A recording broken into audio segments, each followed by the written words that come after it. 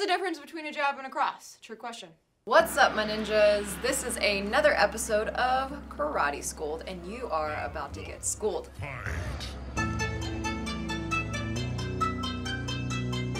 So what we're gonna do today, guys, is I'm gonna teach you how to throw your basic punches. So you have your jab, your cross, your hooks, and your uppercuts. You ready? Let's get started. Alright, so if you're new to my channel, my name is Gabriella Corvina. I'm an actress and a mixed martial artist. I've been doing this for over 17 years. Uh, I'm a dojo baby, so I grew up in a dojo. Uh, I, at one point, my family used to own one of the largest martial arts schools in Texas, and uh, still until this day, we are running a martial arts school in Texas. So today we're actually gonna be covering, once again, those basic punches. You have your jab, your cross, your hooks, and your uppercuts. Uh, a lot of you guys have been requesting, uh, show us how to do technique, show us how to uh, do this, do that. So I wanted to bring that to this channel, and that's something that I uh, have been doing for a long time anyway, so it kind of just felt fitting to do more of these technique tutorial videos. So Let's go ahead and get into this and get into our first punch. But before we get into the punches, I actually have to cover a few things. Now, we have to talk about fighting stance. So fighting stance depends on what is your strong hand. Now, uh, different styles do different things, but I grew up primarily, uh, especially with the stand-up boxing, kickboxing, uh, we do strong hand in the back. So I'm right-handed.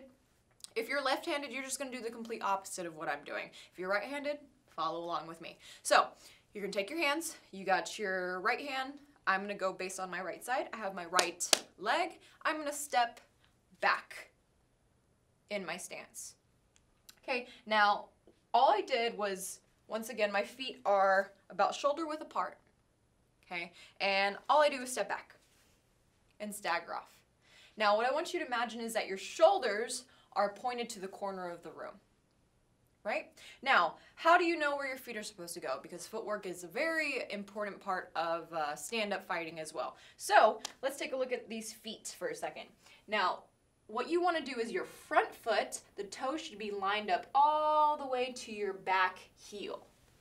Now, that means if this is out here, okay, it's not lined up correctly. If it's behind you, crisscrossed, it's not lined up correctly. So you want it hips facing the corner of the room, and front toe all the way lined up to the back heel, feet about shoulder width to double shoulder width. Okay?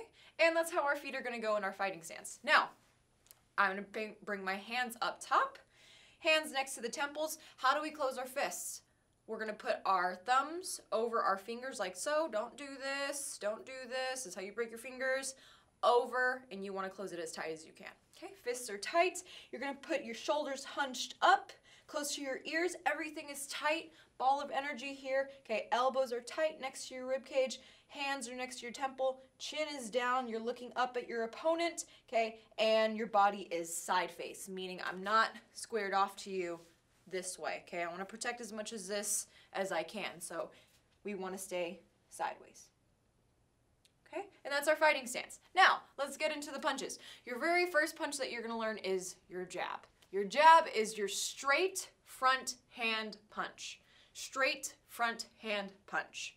Okay, so how do you know front from back? In your stance, whatever foot is more closer to the direction that you're looking, that's the front foot. Whatever foot is behind the direction that you're facing, that's your back. Okay, same thing goes for the uh, hands as well. So we got our front, we have our back. Okay? So if you want to do this with me, go ahead and get into your fighting stance. Okay, and this is this can be either called orthodox or if I switch, southpaw. Okay? So we're going to practice in orthodox. If you're southpaw, you stay there. Okay? So we're going to put our hands up. We're going to get into our fighting stance. And I do kind of want you up on your back toe slightly. Okay, so heel off the ground. That way you have energy to push off to move whenever you need it in this stance. Okay? Knees are slightly bent, so don't lock, don't squat. Okay? Knees are slightly bent. Let's get to this punch. Jab, your front hand straight punch. So what I'm to do is I'm to get in my stance. Okay, I want to have a solid stance before anything else.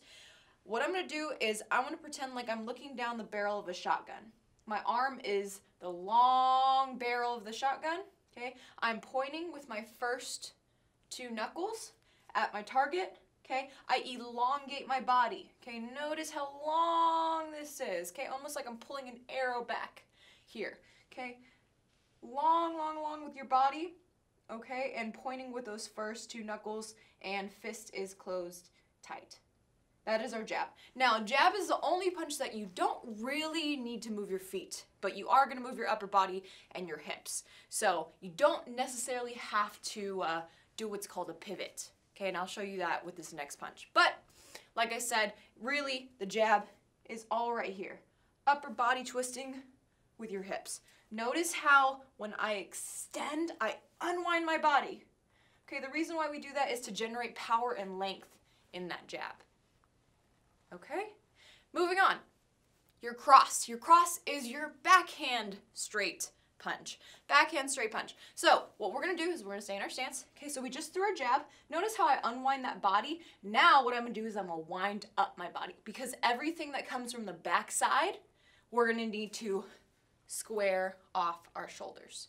Okay, notice how I'm long with anything on the front side and I'm squared with anything that comes from the backside as far as punches go.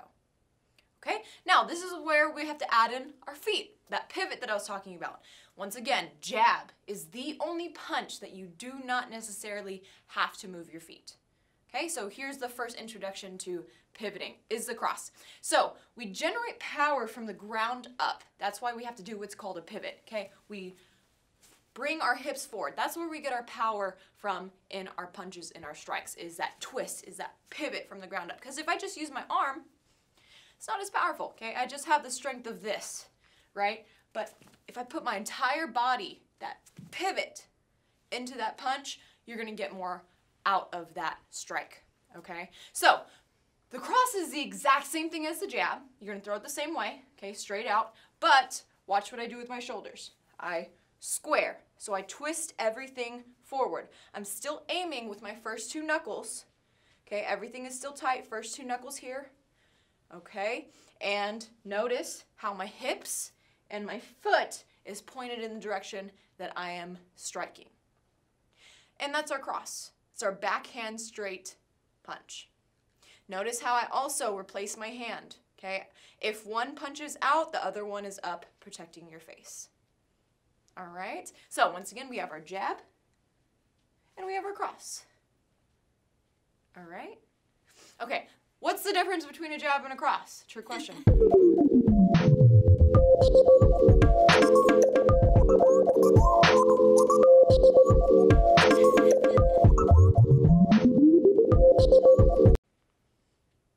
You have to pivot on your cross. And the cross comes from the back side, jab comes from the front side jab, you elongate, cross, you square. Okay? Two straight punches.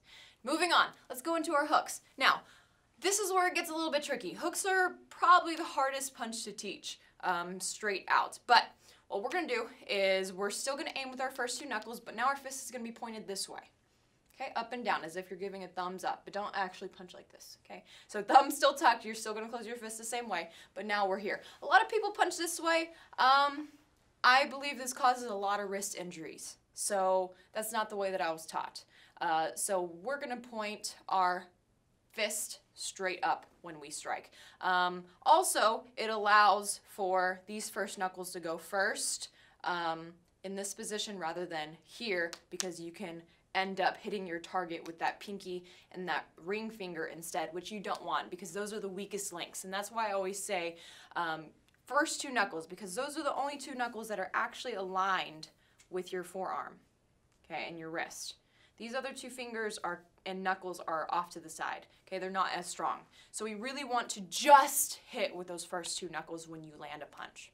Okay, so I'm in my fighting stance. I'm gonna show you guys from the front side, but the front and the back is thrown pretty much the same. The only difference is long and squared. Okay, so front side first. Front side, what I want you to imagine is that there's a table on your chest, right here. Okay, I'm touching the table on my chest.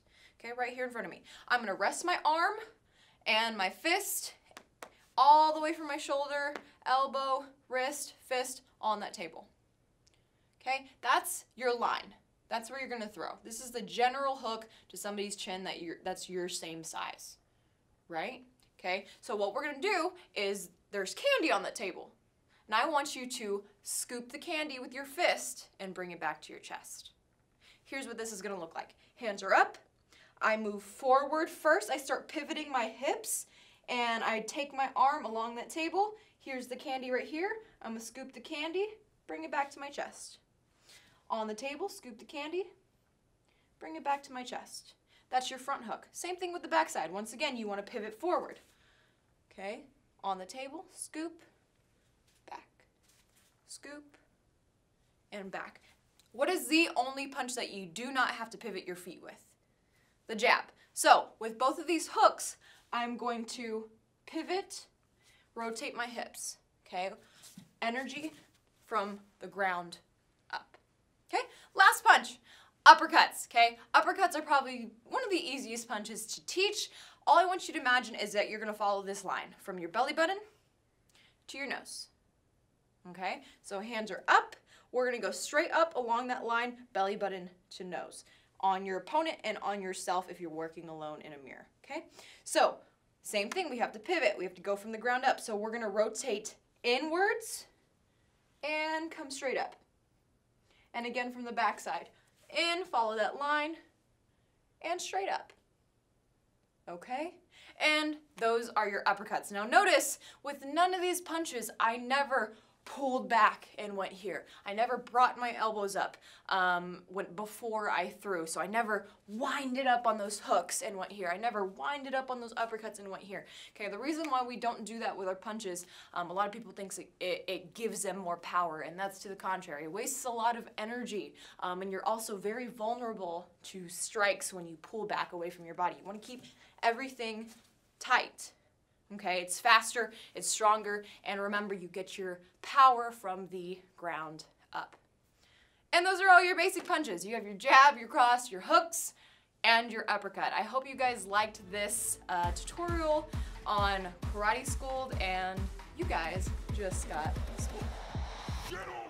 Alright ninjas, if you like this video, make sure that you check out these other Karate School videos here and here, and subscribe right here. And turn on post notifications. And if you don't, I'll punch you in the face. Just kidding.